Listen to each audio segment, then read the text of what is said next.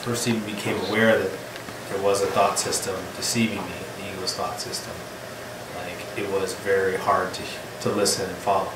So I had to say yes over and over and over. And so there seems to be like a progression towards learning to listen and follow.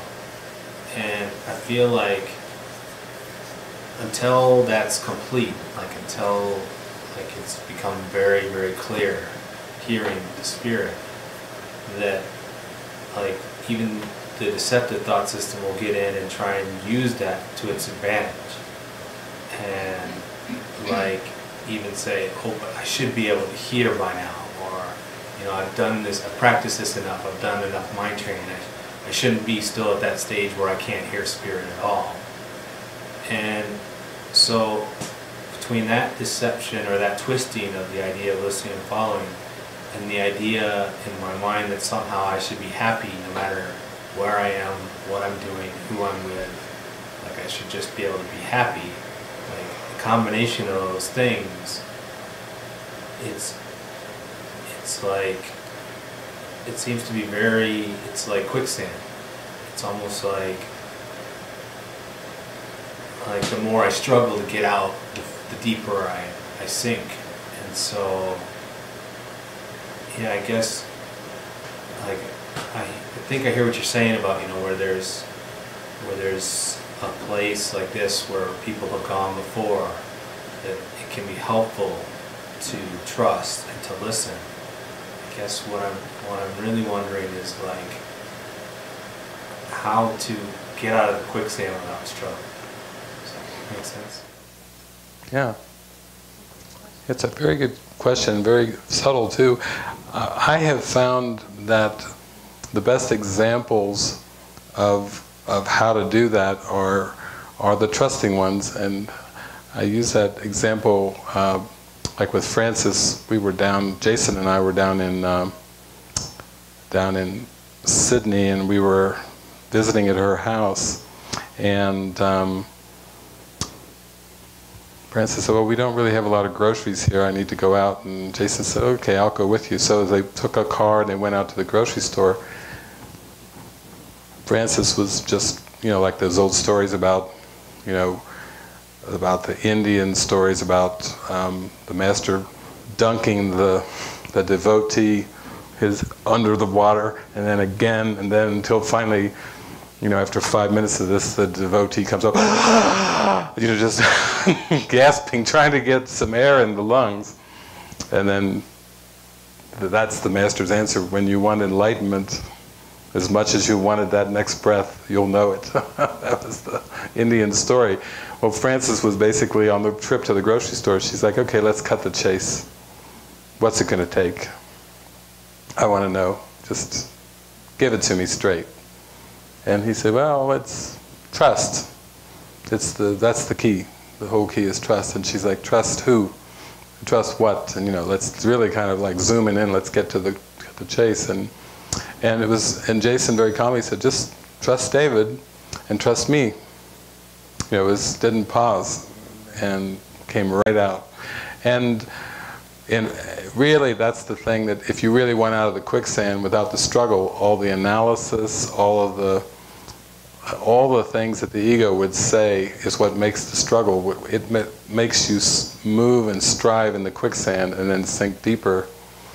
And it reminds me of a scene in the Matrix movie, the Matrix first movie, where um,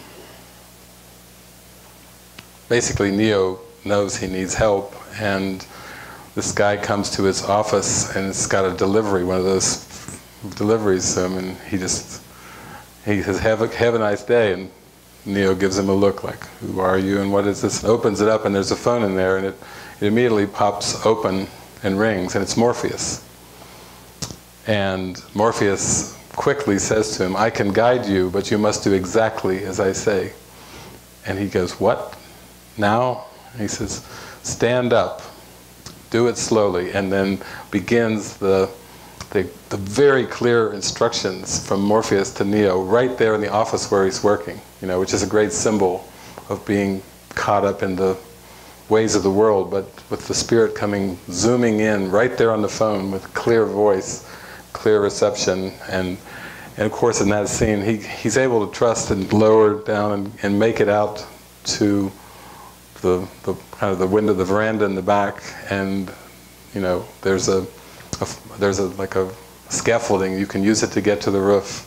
What? I didn't do it. You know, then then the ego really kicks in as he's looking down no way. You know, he, he goes through the whole thing. You can see the ego. It got so far, and then it's like, no, I'm not going to. And then, and basically Morpheus says, I leave it to you, and then click. So he's given him the instructions, and then he's he's either got to follow the instructions or not, and face the consequences. And he's he's too scared to. His his his phone blows out of his hand even. So that's kind of a symbol of like, I don't want that kind of guidance. It's too too threatening.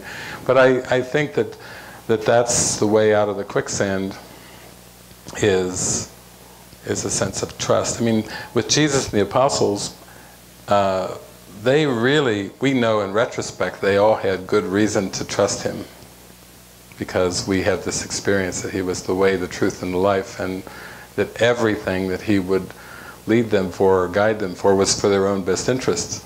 So he would be unwise. Anyone would have been unwise, you know, to to not follow him. But we also know that they went through all these trials and tribulations, so much so that even after three years of living with the guy, that as soon as he got arrested, they all locked themselves up in the the upper room, terrified, bolting the door. After all those teachings about the kingdom of heaven, and then, of course, when Jesus is crucified, he doesn't even appear first to them, he appears to Mary, Mary Magdalene, because she was more ready to see him than the 12 apostles that he spent three years with. So, you know, it shows you how deep this goes and, and what willingness it takes and what readiness it takes. But, but the short answer is trust. If you, if you really would like to kind of come out of the quicksand, you know, you shall know them by their fruits and trust. If you put those together, it can save you countless years of, of thrusting around in the quicksand and seeming to go down deeper instead of, of getting out. And uh, yeah, that's why, like with Frances, over these last few years, however, it's like sometimes I've joked if you had like encyclopedia that had spiritual awakening, a little picture of Frances there because she, she was just so willing in such a short period of time to let go of things that people wouldn't, people go decades without even contemplating, facing, looking at, letting go. But, but the desire and the willingness and the trust, if you put those together, it's, it's a powerful combination. It's, it's not so much a matter of time, it's more a matter of, uh, of willingness and readiness. You do have to be ready even if you're willing and nothing's happening, you feel like your wheels are spinning. It just means you're somewhere deep down, you know, you're not ready. But but that will come as well.